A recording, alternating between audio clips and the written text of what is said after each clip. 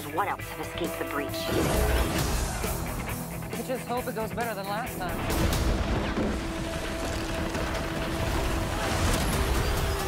Oh no!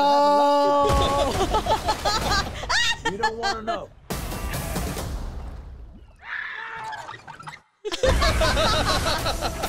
oh my god, that was so ridiculous.